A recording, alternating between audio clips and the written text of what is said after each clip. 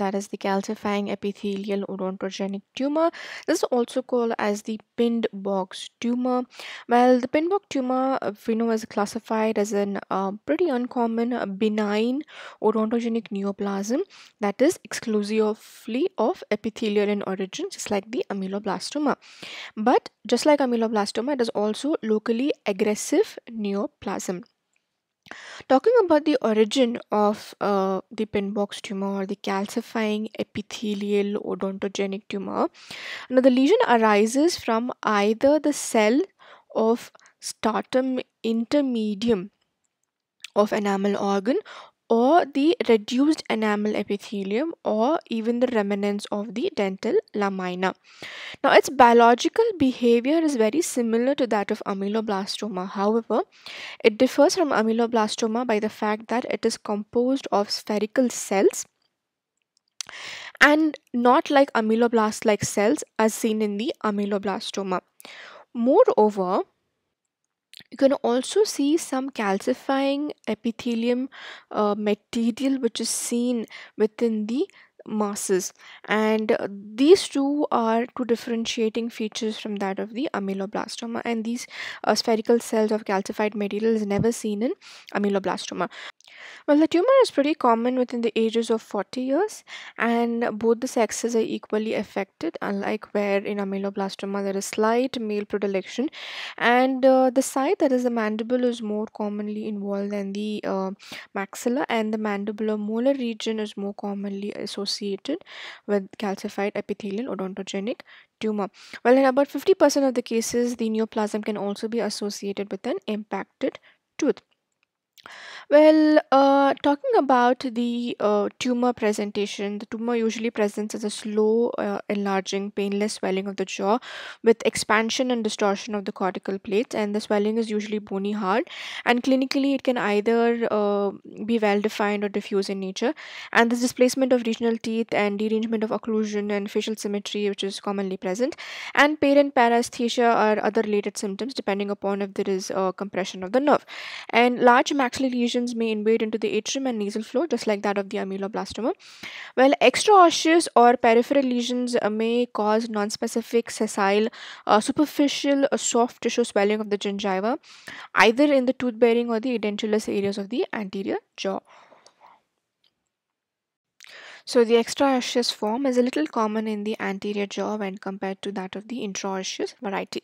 Now talking about the radiographic feature of uh, uh, calcifying epithelial odontogenic cyst is that radiographically uh, this tumor presents as a well-defined multilocular, very rarely unilocular radiolucent area in the jaw. In some cases, there may appear to be a combined pattern of radiolucency and radioopacity, with many small, irregular bony trabeculate transversing the radiolucent area in many directions, producing a multilocular or a honeycomb pattern.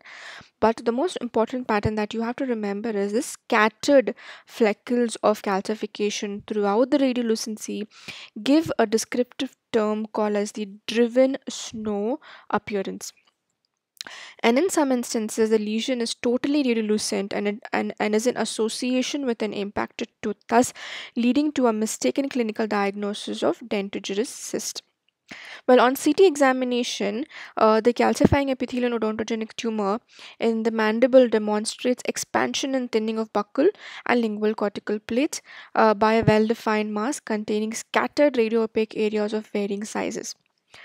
So this is about the radiological features of um, a calcifying epithelial odontogenic.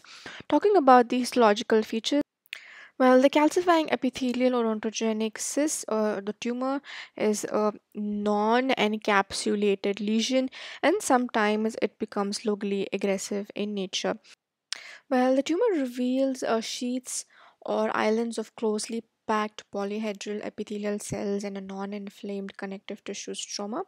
You will also see that the calcified material is present in concentric laminated rings which are called as the Liesegang rings and uh, you will also see some amount of homogeneous uh, hyaline material which is often deposited between the tumor cells which stains like amyloids and uh, one of the most distinct uh, physiological features, like we spoke about, that you have to remember is the calcified epithelial odontogenic tumor shows presence of several uh, calcified bodies that is the Liesegang rings. Well also there is a variant of um, calcifying epithelial odontogenesis which shows some amount of uh, clear cells and um, and this tumor uh, exhibits a, a, clear vacuolated cytoplasm rather than a eosinophilic cytoplasm. And the nucleuses may remain round or oval in center of the cells or may be flattened against the cell membrane. While talking about the um, um, uh, treatment of calcifying epithelial odontogenic cyst is surgical enucleation. And incomplete removal of the of the lesion is likely to followed by reoccurrence because we know it's a non-encapsulated lesion well, this is about the calcifying epithelial odontogenic cyst. For complete oral pathology lectures, you can visit and DM me on my Instagram page that is Noor Saira Wajid. Uh, these are in depth lectures of oral pathology on oral medicine along with thousands of fresh MCQs.